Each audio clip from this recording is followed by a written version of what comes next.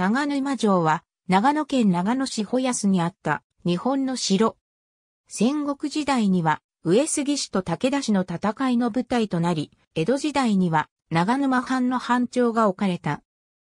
追記の時期は明確ではないが、大田荘の自当職を鎌倉時代以来送電してきた島津氏の一族氏なの、島津氏が室町時代に土着して勢力を伸ばし、最初に築いた城と言われている。追記寺は堀と土塁で囲んだ館のようなものであったようである。工事三年、武田信玄の北信濃侵攻に伴い、島津忠直は南を避けて北の大倉城に逃れた。工事元年、永禄4年、永禄11年の3回にわたって改修、修復が行われた馬場信春によって本格的な城郭として改築された。永禄11年、武田氏の支配下では、足軽大将の原与左衛門城、勝重、市川東長らが首相として配置された。川中島の戦いから7年後、武田軍は本拠地を海津城から長沼城に移して、飯山城など北信濃の攻略の前線基地にしたとされる。江戸時代に描かれた長沼古城の図は平城で東方を千曲川で防御し、西南に武家屋敷、北方に大手門と歌舞伎門で固める小規模ながら近世城郭に近い総構えであったとされる。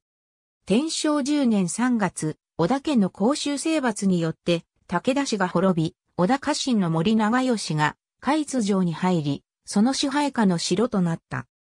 同年6月には、織田信長が本能寺の変で倒れると、武田医療をめぐる天正神後の乱となって、芋川氏など土豪一気に攻撃されて撤退し、越後から侵攻した上杉景勝の支配する城となり、天正10年、島津忠直が入城した。慶長5年には、上杉氏の天保に伴って、島津氏は会津に去り、長沼城周辺が、豊臣秀吉の蔵入地となった。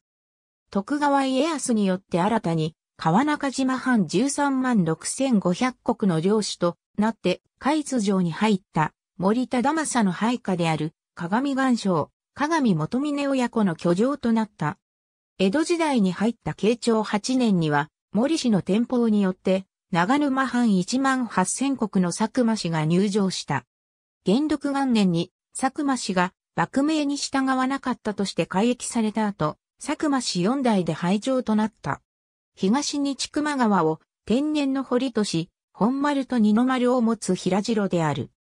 度重なる千曲川の洪水のために、上司の大部分は流出してしまっている。低神寺の付近に小さな森土があり、そこが本丸跡であると言われている。そこに長沼城石と記された石踏みや石塔、祠などがある。東側は千曲川まで、西側は現在の県道368号あたりまで、北側は森田神社のあたりまでが上域であったと考えられている。ありがとうございます。